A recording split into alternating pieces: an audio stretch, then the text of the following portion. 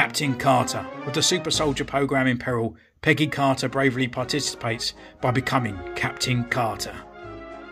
Hello, welcome to Centurion's Corner, and today we are reviewing from Marvel Legends, the Marvel Studios What If Marvel's Captain Carter. Now, this, soon as this was confirmed, I couldn't wait to get this because this is kind of what I've always wanted the actual patriot of the United Kingdom. Agent Carter as Captain America. I just absolutely loved the concept and I loved the episode as well. So I couldn't wait to get my little grubby mitts on her. As soon as she come out, I wanted her. So here in the actual blister pack itself, we've got the shield, we got her, and we got a few bits of the Watcher, which we won't go over because I won't be building the figure at all. But on the side, we have Captain Carter on one side, on the side again, and again on the back, with the actual other characters that you can actually collect to build the watch on there, plus her bio. So without further ado, let's just crack this bad girl open. So here she is, looking absolutely superb. So we're just going to grab her out, have our first impressions.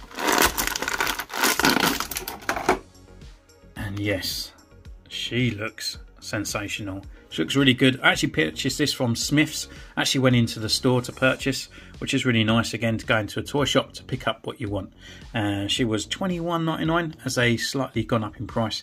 But um, yeah, going to go away, take some pictures, see what she's capable of, and we'll see you in the mo.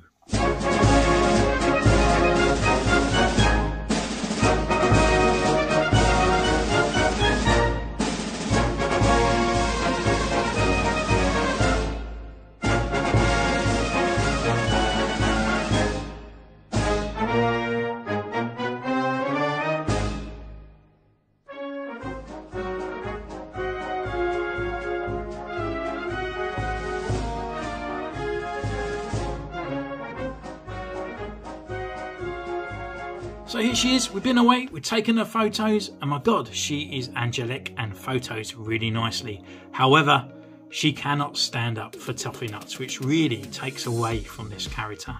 Really kind of draws away from just, oh, such annoyance of it. However, I was kind of really looking forward to getting this girl, uh, especially from the What If series. I really enjoyed the actual episode uh, and really want her to come over to the MCU in real form as well.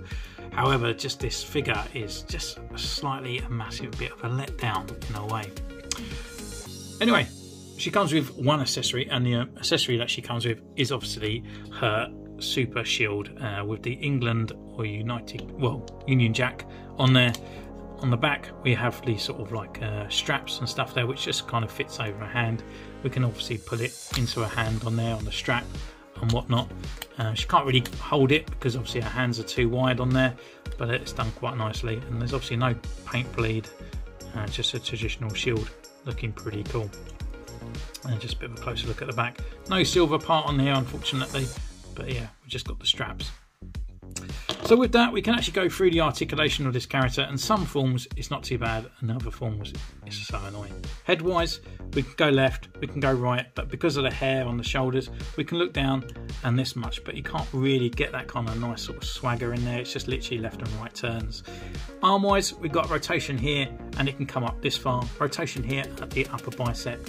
We have a pinless elbow, uh, double elbow joint here Obviously we've got a rotation here at the wrist and it's also on a hinge. Waist wise we can go this far and down, there and back. Leg wise up this wide, forward, upper thigh rotation, double knee joint with hidden pins as well. And then there is a rocker and there is a pivot in there but because of this kind of uh, big massive boot cuff and it is super hard as well I wish it was kind of like a soft material but because it's the same material as the actual figure it's so hard you can't even get any kind of foot movement in there. So really, when it comes to actually putting this character into poses, it's where she really struggles. She can't move the feet around at all, and so she's always, always falling over. Uh, and even when I've done the spinning thing going around, it must have took about 30 attempts just to keep her on there.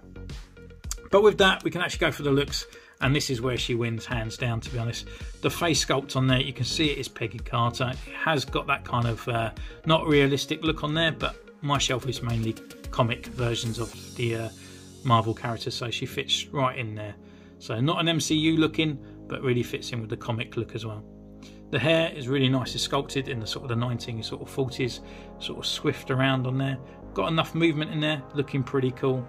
On the back, got the silver kind of emblem, like the shield kind of connector part there, around on the straps, and then obviously the Union Jack bleeding around to the front as well, all over the actual thing. On the side there, on the arms, a little bit of red and white on the blue, couple of red markings around. Nice sort of military brown gloves on here with a bit of a cuff. Down to the boots and the legs, again with the red following it through uniform and then onto the actual boots itself. I think it might need some silver clips and stuff on there just to really bring out a little bit of detail, a bit of silver as well on these pins and stuff. So, nevertheless, I might actually do an upgrade on this figure, or I might do a couple of upgradings because she doesn't really need a lot. However, it'd be quite nice just to put those on there, how you can bring these to life. So, that is Peggy Carter, or Captain Carter, shall we say. Uh, looking pretty dapper. Would I recommend this figure? I still would recommend it. However, just be prepared, the articulation is a bit shoddy.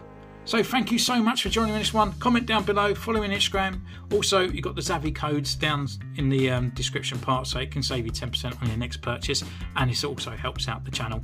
So until next time, take care, and I'll see you soon. Bye!